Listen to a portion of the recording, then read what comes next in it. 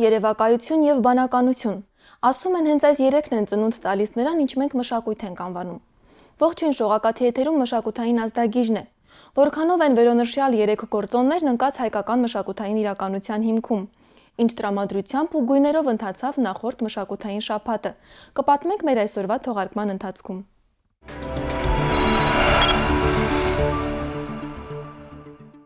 Հոկտեմբերի 15-ին Հայաստանի Հանրապետության մշակույթի նախարարը պաշտոնական այցով Լոռու մարզում էր։ Նա եղավ Սպիտակի, Վանաձորի, Ալավերդու մշակութային կենտրոններում, շրջեց թանգարաններում, քաղաքային գրադարաններում։ Նույն օրը մեկնարկեց Թատերական Լոռի միջազգային փառատոնը։ Քանդակագործ Սարգիս Ղարիբյանի ցուցասրահն է։ Վարպետին ճանաչող վանաձորցիներն այն պարզապես Սևոյի արվեստանոց են կոչում։ Այս ցուցասրահ արվեստանոցը 2009 թվականից յուրօրինակ հավաքատեղի է դարձել մարզի մտավորականների ու ստեղծագործողների համար։ Հանդիպումներ ու քննարկումներ են կազմակերպում, ֆիլմեր ցուցադրում։ Արվեստանոցում միայն վարպետի աշխատանքները չեն, այստեղ հավաքվել են նաև մարզի նկարիչների գործերը։ Արվեստանոցը տան նկուղային հարկում է, պահպանվում է վարպետի ընկերների օգնությամբ։ Արվեստանոցը ես անընդհատ չեմ կարողանում բաց թողնել որովհետև աշխատանք որպեսի բաց լինի, դրա համար հարկավոր է աշխատող, այստեղ վարձատրեց այդ աշխատանքին։ Դրա համար ես այդ ցուցանակի վրա գրել եմ. Անհրաժեշտության դեպքում զանգահարել ես ինչ Այցելուները զանգահարում ու գալիս են, բայց քանդակագործի մեծ ցանկությունն է, որ իր արվեստանոցի դռները մշտապես բաց լինեն, նույնիսկ երբ ինքը տանը չէ։ Նախարարը փորձում էր տեղում հասկանալ եղած խնդիրները, լսել մտավորականների ու արվեստագետների առաջարկները, Խաչքարագործ Բոգդան Հովանիսյանը նախարարին առաջարկեց ճյուղայի քանդված խաչքարերի լուսանկարների հիման վրա դրանց կրկնօրինակները ստեղծել։ Առաջին խաչքարն արդեն պատրաստ է։ Ես նվեր եմ տալիս քաղաքին։ Դրեք որևէ տեղ հիմքը դնենք այս կործանված խաչքարերի հուշարձանը, սկսենք այս քարով։ Ու կամաց ես կարող եմ շարունակել նորից, թող ուրիշ խաչքարագործել շարունակի, վերցնի որևէ լուսանկար ու կործանված խաչքարի վերացնունդը թող նորից Նախարարը մշակութային ակտիվ գործունեության համար Սարգիս Ղարիբյանին եւ Բոգդան Հովանիսյանին Գրիգոր Նարեկացու հուշամեդալ հանձնեց եւ ապարգևատրեց Հայաստանի Հանրապետության մշակույթի նախարարության պատվոգրով։ Միայն ստեղծագործելու համար սովորաբար չես ապարգևատրում, որտեղ մարդը նաև պետք է հասարակական ակտիվ դերք ունենալ, ինքը պետք է մասնակցի հասարակական բոլոր խնդիրներին, ինքը պետք է կարողանա էպիկենտրոն դառնալ մշակութային իրադարձությունների, այնպես դրա համար եւ իրեն ստեղծագործական սխրանքի համար եւ նաեւ հասարակական կերպարի համար։ Բարձրադիր ու դժվար հասանելի Քոբայրավանքը վաղ միջնադարում եղել է գրչության, հոգևոր ու մշակութային նշանավոր կենտրոն։ Այստեղ է գործել 12-րդ դարին մատենագիր Դավիթ Քոբայրեցին, Կառուցվել է 1171 թվականին Բագրատունյան Սկյուրիկյան Կյուրի իշխանի կողմից։ Քոբայրի վերաբերյալ հնագույն հիշատակություններ են թողել 13-րդ դարի պատմիչներ Վարդան Արևելցին ու Մխիթար Այրիվանեցին։ Վանական համալիրը բաղկացած է եղել 3 եկեղեցիներից, Զանգակատուն տապանատնից, Սեղանատնից։ Վերականգնողական աշխատանքներն այստեղ սկսվել են դեռևս 2006 թվականին։ Իրականացվել են ջամեկուսացման, ամրացման, որմնանկարների վերականգնման աշխատանքներ, նորոգվել է Զանգակատունը։ Աշխատանքները կշարունակվեն նաև 2015 թվականին։ Այցելության հաջորդ կանգառը Սպիտակ քաղաքն էր։ Տեղի մշակութային տանն են տեղակայված քաղաքային գրադարանը, թանգարանը ու տեխնիկային ստուդիան։ Աշխատագիցները նախարարի հետ խոսեցին իրենց դժվարություններից, գրադարանում ջերուցում չունենալուց, շենքային վատ պայմաններից ու ցածր աշխատավարձից։ Բացի այդ, հաստատության գործունեությունն արդյունավետ դարձնելու համար համակարգիչներ են անհրաժեշտ։ Սպիտակի գեղարվեստի դպրոցում այսօր սովորում է 60 աշակերտ։ Գործում են գծանկարի, գոբելենի, քանդակի, խեցեգործության, գունանկարի եւ կոմպոզիցիայի բաժիններ։ Այցի ընթացքում դպրոցին հանձնվեց 10 մոլբերտ նկարչական պարագաներով։ Հաստատության տնորեն Այծեմիկ Սիմոնյանն էլ մանկավարժական երկարամյա գործունեության համար ապարգևատրվեց Հայաստանի Հանրապետության մշակույթի նախարարության պատվոգրով։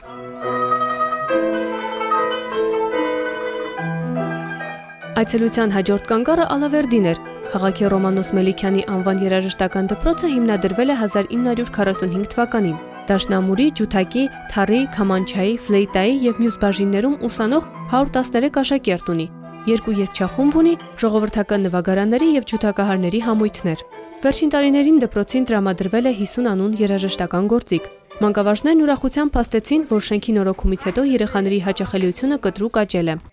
Ալավերդու մշակույթի տանը ազդարարվեց թատերական լորի 22-րդ փառատոնի բացումը։ Այս տարի այն նվիրվել է Սոս Սարգսյանի 85-ամյակին։ Այն կանցկացվի Ալավերդի, Վանաձոր, Սպիտակ, Ստեփանավան քաղաքներում։ Հայաստանից, Արցախից եւ Ռուսաստանից 25 թատերախումբ է մասնակցում 3 տասնյակից ավելի բազմաժանր ներկայացումներով։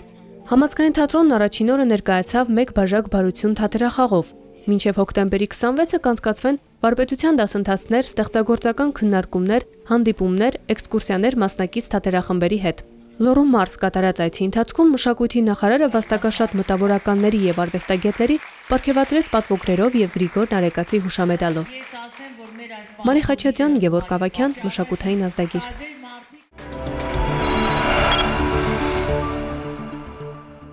Բելարուսի հետ մեր մշակութային կապերը տասնամյակների պատմություն ունեն։ Դրանք նոր հարթության վերադրվեցին անկախացումից հետո։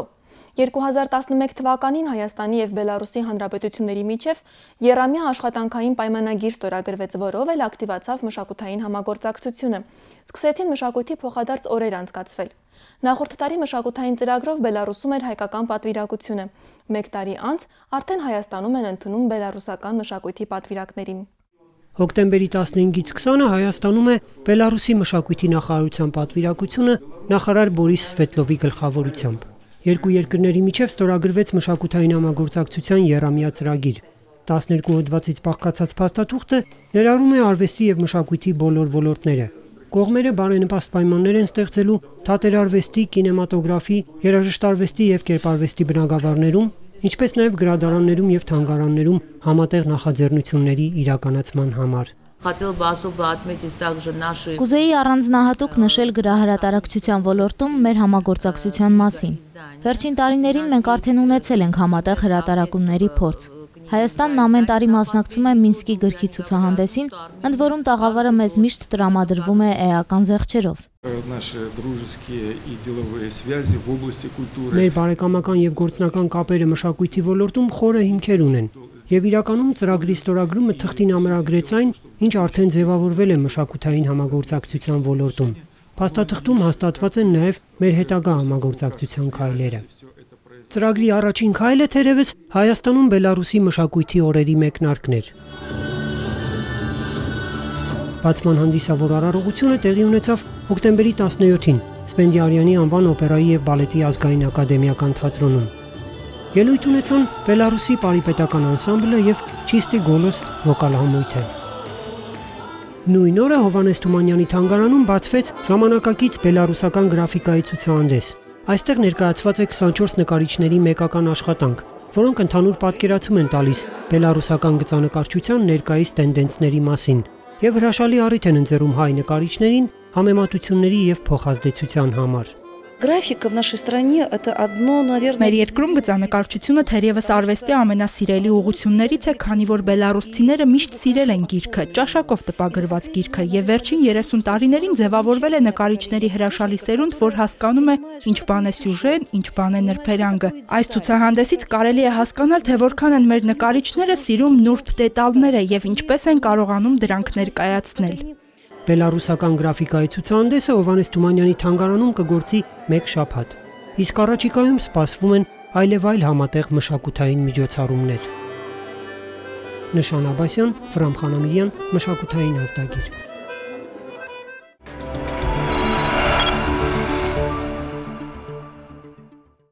Հարյուր մինուս 10-ը։ Մաթեմատիկական այս ոչ բարդ հաշվարկի արդյունքը սիրված դերասան Երվանդ Մանարյանի տարիքն է։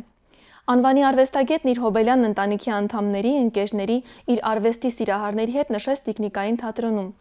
Երվանդ Մանարյան 100 մինուս 10 ներկայացման ժամանակ Հոբելյան իր կյանքի անմոռանալի դրվագներով ու հուշերով կիսվեց ներկաների հետ։ Տեխնիկային թատրոնի ճեմասրահում իրար անցում է, հյուրերը գալիս են ու գալիս, 100 մինուս 10-ը աստագիրն է նրանց բերել։ Ամեն ինչ շատ պարզ է 100-ից հանած, 10-ը 90-ի է հավասար։ Երվանդ Մանարյանն 90 տարեկան է։ Նրան սպասվում են գնահատանքի, դրվատանքի խոսքեր, իսկ ինքը Հոբելյարը այդ մասին չի էլ մտածում։ Կուլիսներում նստած մտքով հեռու է գնացել։ Շատ տարիներ առաջ, երբ պատերազմ էր։ Հանրակացարանի դիմաց հացի խանութ կար։ Իսկ մենք էլ, որ եկել էինք, մի քիչ այդ այդ բարքերը մեզ ծանոթ չէր։ Այդ բարքերը ծանոթ չէր,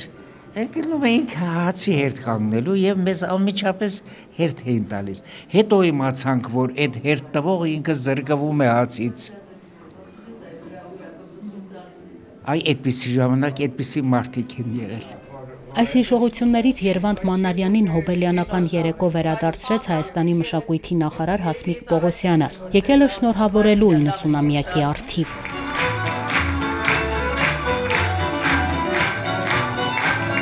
Ավանդական հոբելյանական երեկոների նման մեծարման խոսքեր չենք լսում։ Բեմում հայտնվում է մի մեծ տորտ, խոհարար ու մոմեր։ Խոհարարը հարցեր է տալիս 9 մոմերին։ Մոմերից յուրաքանչյուրը տարիքային մի փուլում է մանկությունից հասուն վաստակած կյանք։ Շարքը պատասխանատու է, բայց ես սիրով այն չտանձնեցի։ Եվ հենց այդ առաջարկն է, որ ինձ հավերժ կապեց տեխնիկային աշխարհին։ Հենց մոմերն են ներկայացնում անվանի արվեստագետի անցած ճանապարհը։ Գլխավոր հերոսը Երվանդ Մանարյանն է։ Նա բեմում նստած մասնակցում է ներկայացմանը, կատակներ է անում։ Մոմերը պատմում են Հոբելյարի կյանքի տարբեր փուլերի մասին, ցուցապաստառին երևում են լուսանկարներ մանկությունից մինչ մեր օրերը։ Երվանդ Մանարյանի ծննդյան 90-ամյակը այս կերպ նշելու գաղափարը նրա թորանն է, Հայկ Սեկոյանինը։ Հայկը փոփոխությունների թատրոնի ռեժիսորն է, այդ թատրոնի արտիստների հետ է բեմադրել հոբելյանական երեկոն։ Այդ պատվավոր գործը ինձ վստահվեց, ինչի համար ես շատ ուրախ եմ եւ մեծ հաճույքով ես եւ իմ բոլոր ընկերները փոփոխությունների թատրոնը իր բոլոր անդամներով ձեռնամուխ եղավ այս հրաշալի միջոցառման նախապատրաստական աշխատանքներին եւ ուրախ ենք որ այսօր արդեն այսքան պատվարժան հյուրերի ներկայությամբ կարող ենք հանդիսատեսի դատին հանձնել այս հրաշալի ներկայացումը։ Երվանդ Մանարյանը Իրանում է ծնվել, ներգաղթել է Հայաստան, գեղարվեստաթատերականում ռեժիսուրա է սովորել։ Որպես դերասան եւ ռեժիսոր աշխատել է մի շարք թատրոններում՝ Պարոնյան, Սունդուկյան, Թումանյանի անվան տեխնիկային թատրոն։ Երվանդ Մանարյանը թատրոն է հիմնել Գորիսում, Շուշիում նրա անունը կրող տեխնիկային թատրոն է գործում։ Երևանում Ագուլիսն է հիմնել, ուր շատ երեխաներ տեխնիկների հետ շփվելով ներկայացման մասնակից են դառնում։ Երվանդ Մանարյանին լավ են հիշում ֆիլմերում կերտած կերպարներից։ Նա նաև սցենարներ է գրել Դժվժիկ Տերն ու ծառան։ Աննա Համրազյան, Վարդգես Մանուկյան, մշակութային աստագիր։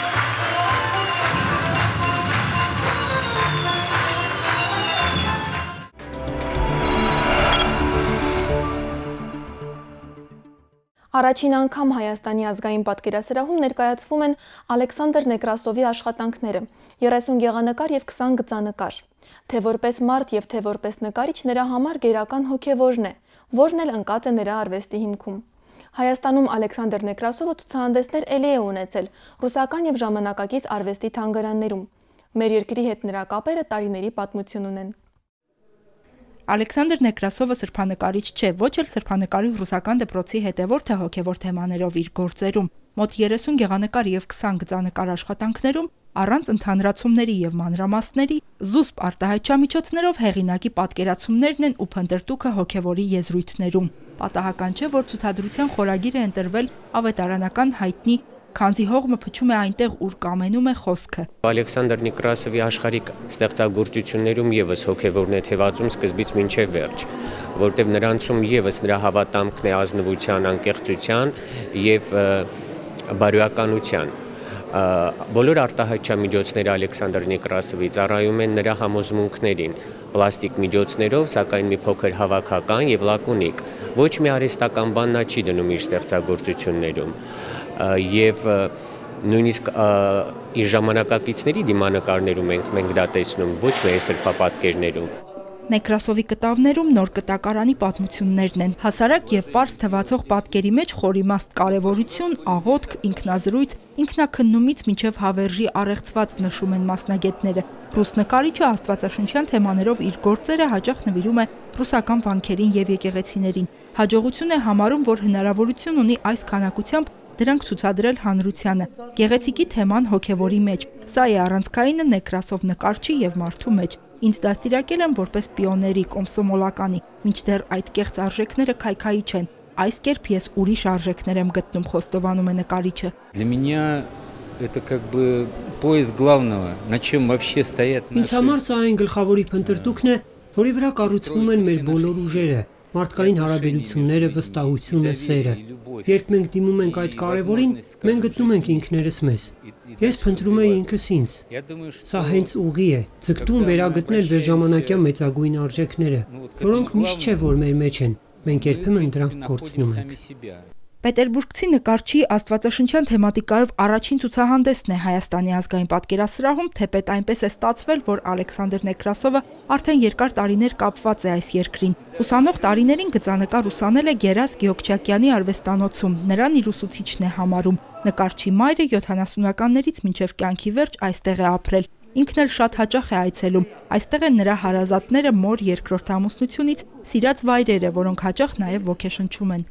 Ալեքսանդր Նեկրասովը ճանաչված է արվեստի պետերբուրգյան շրջանակներում որպես միտյոկների խմբավորման նկարիչ եւ ռուսական ժամանակակից նկարչության հավաքորդ։ Ցարսկոե Սելոյի ժամանակակից արվեստի թանգարանի հիմնադիրն ու տնօրենն է։ Այնտեղ է հավաքել պետերբուրգցի ժամանակակից նկարիչների ստեղծագործությունները ռեալիզմից մինչև ավանգարդ։ Մանկավարժական եւ կազմակերպչական բազմաթիվ պարտականություններ է ստանձնել։ Տարիներ առաջ համաձայնելով վարպետության դասեր անցկացնել, սահմանափակ հնարավորություններ ունեցող երեխաների հետ իր համար նոր ուղի է հայտնաբերել։ Այդ օրվանից անընդհատ աշխատում է զարգացման, տեսողության կամ այլ խնդիրներ ունեցող տարբեր տարիքի նկարիչների հետ։ Նրանց համար կազմակերպում է վարպետության նոր դասեր, պլեներներ, մրցույթներ։ Նրանց համար է հիմնել նաև Ցարսկոսելյան վերնիսաժ փառատոնը։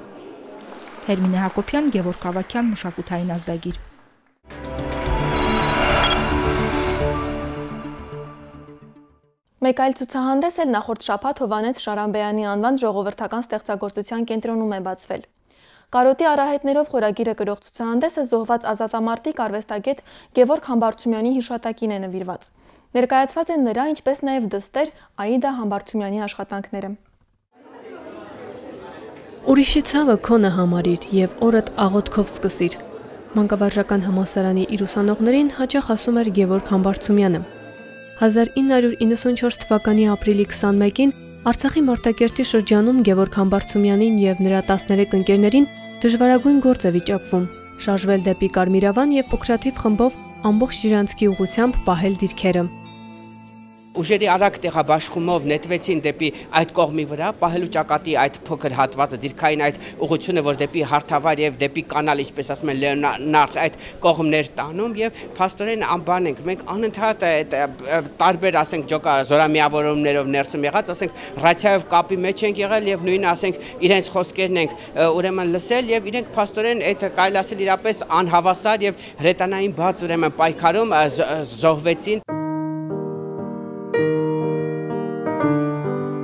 1958 թվականին է ծնվել Գևորգ Համբարձումյանը։ 1980-ից 85 թվականներին սովորել է Երևանի Խաչատուր Աբովյանի անվան մանկավարժական համալսարանի նկարչական բաժնում։ Եղել է հուշարձանների պահպանության կոմիտեի անդամ։ Իրենից հետո թողել է բազմաթիվ գեղանկարչական եւ գրաֆիկական աշխատանքներ, մանրակերտեր, խեցեգործ իրեր, խաչքարեր, կոթող հուշարձանների նախագծեր։ Նրա աշխատանքները բազմիցս ցուցադրվել են հանրապետության ցուցասրահներում եւ արտերկրում։ Շարամբեյանի անվան ժողովրդական ստեղծագործության կենտրոնում Գևորգ Համբարձումյանի ստեղծագործությունների հետ միասին ներկայացված են նաև դստեր Աիդա Համբարձումյանի աշխատանքները։ Քանի որ իր աշխատանքները ցրված էին տարբեր մարդկանց նվիրել էր կամ վաճառվել էր ես որքան հնարավոր էր յետ բերեցի կոլեկցիան հավաքեցի ու երբևէ ոչ մի գործ չեմ վաճառել թեպետ շատ շատ հաջող առաջարկներ են եղել որովհետև այլևս չկրկնվող են դրանք։ Քո ծննդյան օրը կլինի, ու ես քեզ մոտ չեմ լինի։ Քեզ ծաղիկներ կնվիրեմ, բայց ես չեմ կարող նվիրել։ Քեզ կժպտան բոլորը, բայց դու չես տեսնի իմ ժպիտը։ Նամակներ, բանաստեղծություններ, պոեմներ։ Դրանք գրել է Արցախյան գոյամարտի ժամանակ, նվիրել սիրելի կնոջը Տիկին Սուսաննային։ Հետագայում ընտանիքը դրանք հավաքել եւ հրատարակել է առանձին գրքով։ Մեծ երազանք ունեմ ու ինձ դա իրականանալի է թվում մեր ժամանակներում։ Ես շատ կուզեի տուն հանգարան Գևորգյանով, որովհետեւ շատ-շատ աշխատանքներ ունի։ Այստեղ շատ փոքր մասն է ցուցադրված։ Աշխատանքները կենտրոնում կմնան մինչև հոկտեմբերի 21-ը։ Մարի Խաչատյան, Վրամ Խանամիրյան, մշակութային ազդագիր։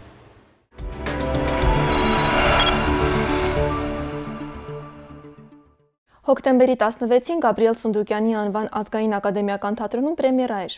Ներկայացվեց դեպք մետրոյին բեմադրությունը, որի հիմքում Նիկոլաս Բայերի համանուն կինոսցենարն է։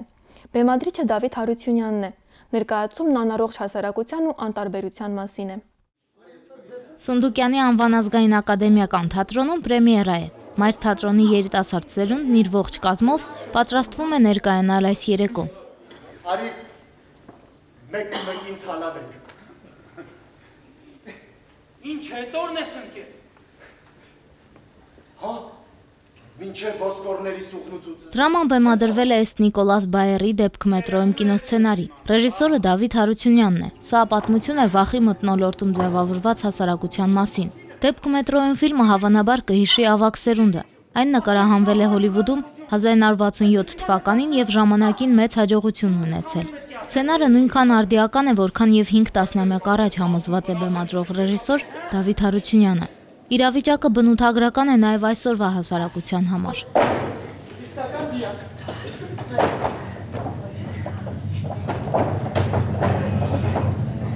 Հասարակությունը, որը որ խեղված է լինում, խեղված, խնդիրներ ունեցող, խնդիրների մեջ բարդույթավորված, դժվար հասարակության, չկայացած հասարակության ծնունդները, այսինքն այդ երկու բացասական Arctic Honors Joferon են, որ կան։ Նրանք սիրո պակասի, նրանք նրանք outsider-ներ են հասարակության, նրանք վիժվածքներն են այդ նույն հասարակության։ Եվ նրանք դառնում են այդ նույն հասարակության դահիճները այն հասարակության, որը անուժ է նրանց դեմ պայքարելու։ Սա բարդ հոգեբանական ներկայացում է անառողջ հասարակության ու անտարբերության մասին։ Բարոյական սկզբունքներից զուրկ սանձարցակ երկու երիտասարդ ներխուժում են մետրոյի վագոն եւ մարդիկ, ովքեր նրանց հետ միասին հայտնվել են նույն վագոնում, մեծ փորձության միջով են ստիպված լինելու անցնել։ Պարզերում է, որ այս մարդիկ անձնական կյանքում շատ լուրջ խնդիրներ ունեն, հասարակական կյանքում խնդիրներ ունեն, այսինքն հողը նրանց ոտքի տակ ամուր չի։ Մենք ավակ սերնդին երևի թե այս ներկայացումով հա, գրեթե ոչինչ չենք կարող ասել, բայց մենք ուզում ենք երիտասարդ սերնդին ցույց անել, մտածել տալ եւ շատ-շատ-շատ խնդրել, որ เป զի չլինեն ջոֆերոնեներ, չտարվեն կյանքի հետ ուղով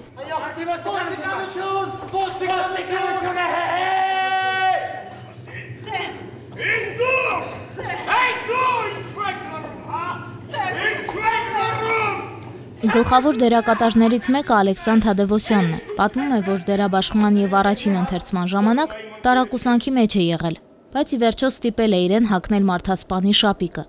Նրա հերոսը Արթիկ Հոնորսը դառը մանկություն է ունեցել, զուրկ ծնողական գուրգուրանքից, կնոջ սիրուց։ Դրա պտուղները հասարակությունն է քաղում։ Անկարողության այդ վախի գործոնն է այստեղ, որ ոչինչ, կարծես ամեն ինչ տեսնում ենք, բայց ոչինչ չենք անում փոխելու համար։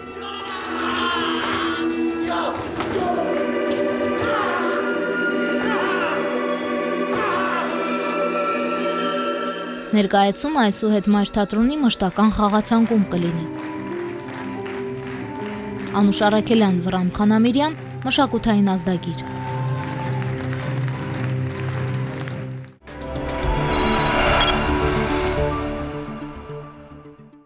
Տասը տարուց ավելի ռեժիսոր Սերժ Մելիքովսեփյանն ապրում եւ ստեղծագործում է Երևանում։ Մի քանի տարի առաջ նա մի խումբ դերասանների հետ միասին հիմնեց Ագորա թատերախումբը, որի առաջնային նպատակը միջազգային ժամանակակից դրամատուրգիան Հայաստանում ներկայացնելն էր։ Նախորդ շաբաթ թատերախումբը հայ հանդիսատեսին ներկայացրեց Մատեյ Վիշնյեկի Պանդա արտերի պատմությունը ըստ սաքսոֆոնիստի, որը Ֆրանկֆուրտում մի ընկերուհի ունի ներկայացումը։ Հայաստանում Սերժ Մելիքովսեփյանն իր բեմական գործունեության 10 տարվա ընթացքում հանրությանը ներկայացրել է 8 պիես, Նախընտրել է բեմադրել ժամանակակից հեղինակների գործեր, որ հաճախ անձամբ է թարգմանել։ Երկուսը կլիներ։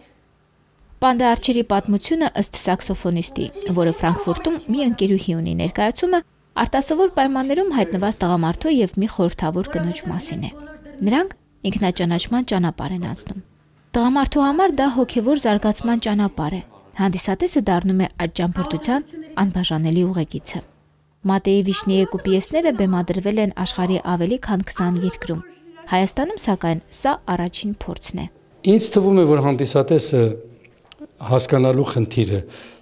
բոլորովին կարիք չունի ջանք տապի։ Պետք է տրվի ներկայացմանը։ ամեն քայլափոխին չմտածի ես ինչ է նշանակում, ինչու են անում, այդ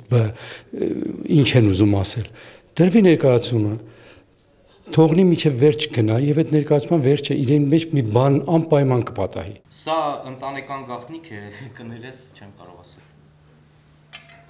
Ուրեմն էլ չեմ ուտում։ Սիրո պատմություն, մահվան եւ կյանքի մասին մտորումներ։ Ստելա Գևորքյան, Վրամ Խանամիրյան, մշակութային ազդագիր։ Վայրի բնության եւ մշակութային արժեքների պահպանման հիմնադրամը Երևանի կենթանաբանական այգու եւ Vivacell MTS ընկերության հետ համատեղ այս տարի 7-րդ անգամ նախաձեռնում եւ իրականացնում է ամենամյա համահայկական նկարչական մրցույթ նախագիծը։ Մրցույթի առանձնահատուկ մաս է նկարչական օր ամենամյա միջոցառումը։ Հոկտեմբերի 25-ին Երևանի կենթանաբանական այգին մեկ օրով կվերածվի բացօթյա հսկայական նկարչական արվեստանոցի։ Մինչև հոկտեմբերի 15-ը ներկայացված լավագույն աշխատանքների հեղինակները կհրավիրվեն Երևանի կենթանաբանական այգի նկարելու եւ իրենց աշխատանքները հանրությանը ներկայացնելու։ Իսկ Հայաստանից դուրս բնակվող մասնակիցների լավագույն նկարները միջոցառման ընթացքում կներկայացվեն առանձին ցուցադրությամբ։ 7-րդ համահայկական նկարչական մրցույթի հաղթողները կընտրվեն ժյուրիի կողմից ըստ տարիքային խմբերի։ Արդյունքների ամփոփումը եւ մրցանակաբաշխությունը տեղի կունենա Վայրի բնության եւ մշակութային արժեքների պահպանման հիմնադրամի ամենամյա հաշվետու միջոցառման ժամանակ դեկտեմբերին։ Մրցույթի մասին ավելի մանրամասն կարող եք իմանալ այցելելով paintingday.sunchild.org կայքը։ 1854 թվականի հոկտեմբերի 29-ը ծնվել ֆրանսիական սիմվոլիզմի խոշորագույն դեմքերից մեկը՝ բանաստեղծ Արթուր Ռեմբոն։ Նրա հոգևոր ուսուցիչներն են Հյուգոն եւ Բոդլերը։ Ռեմբոյի եւ Բոդլերի սիմվոլիզմը հետագայում մեծ ազդեցություն ունեցավ 20-րդ դարի համաշխարհային պոեզիայի վրա։ Արթուր Ռեմբոյի ստեղծագործությամբ մեծապես ազդված էր նաեւ Եղիշե Չարենցը։ 1833 թվականի հոկտեմբերի 21-ին է ծնվել մեծանուն շվեդ քիմիկոս Գյուտարար Ալֆրեդ Նոբելը։ Թեպետ Ալֆրեդին հաճախ կոչում էին դինամիտի թագավոր, սակայն նա խիստ դեմ էր իր հայտնագործությունները ռազմական նպատակներով կիրառելուն։ Իր հսկայական կարողությունը նա կտակել է իր իսկ հիմնադրած Նոբելյան մրցանակի ինստիտուտին։ Նրա անունով է կոչվում նաև նորահայտ Նոբելիում քիմիական տարրը։ 1811 թվականի հոկտեմբերի 22-ին է ծնվել աշխարհարչակ կոմպոզիտոր եւ դաշնակահար Ֆերենց Լիստը։ Մեծ է նրա ներդրումը համաշխարհային երաժշտարվեստի զարգացման կոմպոզիտորական դպրոցների ստեղծման գործում։ Լիստը նորոգություն է հիմնադրել նաև դաշնամուրային արվեստում։ Նա թողել է հարուստ եւ բազմաժանր երաժշտական ժառանգություն, հիմնականում ստեղծագործություններ դաշնամուրի եւ նվագախմբի համար։ Լիստը նաև սիմֆոնիկ պոեմի ժանրի հիմնադիրն է համաշխարհային երաժշտության մեջ։ 1929 թվականի հոկտեմբերի 24-ին է ծնվել հայ բեմի եւ կինոյի սիրելի վարպետներից մեկը՝ ԽՍՀՄ ժողովրդական արտիստ Ծոս Սարգսյանը։ Նա նկարահանվել է 40-ից ավելի գեղարվեստական ֆիլմում, Նվագախմբի տղաները, Երանկյունի, Մենք ենք մեր սարերը, Նահապետ։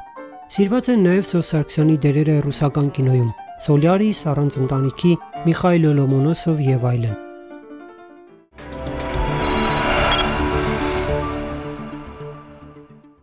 Այսօրվա համար այսքանն ենք պատրաստել։ Մշակութային նոր լուրերով կհանդիպենք մեկ շաբաթից։